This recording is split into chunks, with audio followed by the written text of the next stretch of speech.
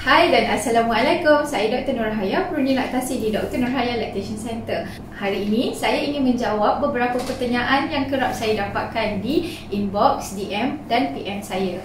Salah satu soalannya adalah, Doktor, tak apa ke kalau setiap kali saya pump, saya pump 10 minit, rehat 10 minit, pump balik 10 minit. Kalau pump macam ni, saya boleh dapat 4 ounce. Tapi kalau saya pump straight 30 minit, walaupun dah tukar mode, every 10 minutes dapat dalam 2.5 ounce sahaja.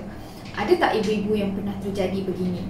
Sebenarnya tidak ada masalah kerana uh, penyusuan susu ibu ataupun pengepaman susu ibu bukanlah sesuatu yang rigid. Kita boleh melakukan pelbagai cara dan pelbagai teknik untuk uh, memudahkan uh, urusan pengepaman kalau ibu seperti Cik Puan ini um, selesa berbuat demikian, memiliki masa untuk melakukan teknik ini, tidak ada masalah kerana teknik ini seumpama teknik power pumping ataupun memimik cluster feeding uh, di mana ibu ini mengepam 10 minit, kemudian berehat 10 minit dan kemudian mengepam semula 10 minit dan ibu ini melakukan sedemikian selama mungkin beberapa cycle ataupun beberapa cluster. Jadi untuk Cik Puan ini, sekiranya ibu ini ingin meneruskan uh, teknik ini dan beliau merasakan ia lebih berbaloi dan sesuai dengan kemampuan masa dan diri untuk melakukannya, Alhamdulillah, silakan lakukan. Tidak ada masalah. Tidak perlu terlalu khawatir. Seperti yang saya katakan, pengepaman susu ibu bukanlah sesuatu yang rigid.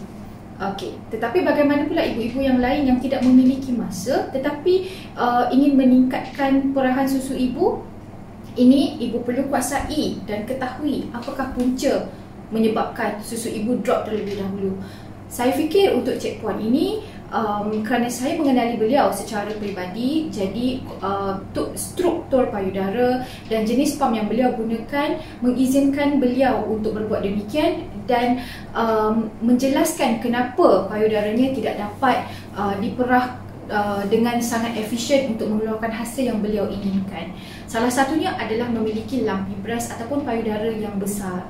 Jadi untuk mereka yang memiliki payudara yang, yang besar, mereka memerlukan um, teknik-teknik yang berbeza untuk mendapatkan uh, efisiensi dalam mengepam. Contohnya breast compression. Bagaimana untuk melakukan breast compression ketika mengepam? Okey, bagi ibu-ibu yang memiliki payudara yang besar, contohnya menggunakan bra berukuran um, E, F uh, seperti demikian uh, apabila mengepam ataupun memerah susu menggunakan pam susu saya sangat-sangat menggalakkan untuk menggunakan teknik breast compression ketika mengepam.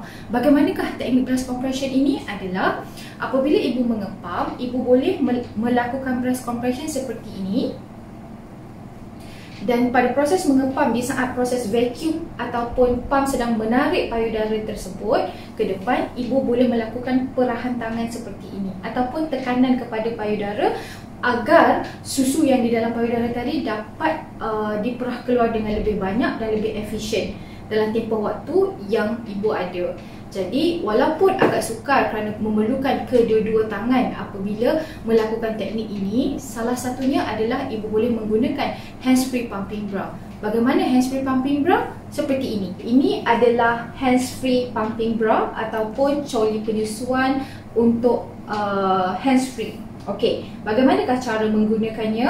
Caranya adalah ibu hanya tinggal meletakkan di bahagian badan tanpa perlu membuka baju ataupun uh, menanggalkan mana-mana pakaian. Jadi um, hanya untuk uh, memudahkan uh, proses pengepaman tersebut hanya uh, mendedahkan bahagian payudara sahaja. Okey. Okey, contohnya uh, saya gunakan di bahagian payudara kiri ini. Okey, apabila kita sudah membuka coli dan uh, baju yang sudah uh, nursing uh, nursing free area tersebut untuk uh, memudahkan proses mengepam, okey, ibu memakai hands free pumping bra ini di bahagian tersebut dan kemudian letakkan uh, pump head ini di bahagian ini. Okey. Jadi, ibu lakukan di kedua-dua bahagian. Okey, sekarang ibu sudah bebas uh, tangan ibu sudah free dan mendapatkan freedom untuk melakukan pelbagai maneuver yang lain.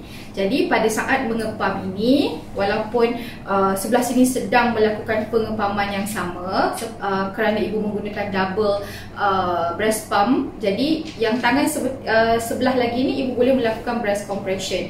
Jadi pada saat uh, ini ibu boleh melakukan serentak kedua-duanya. Ah, jadi ini akan menjimatkan masa dan juga dapat juga melakukan uh, maneuver ataupun teknik breast compression ini ketika mengepam.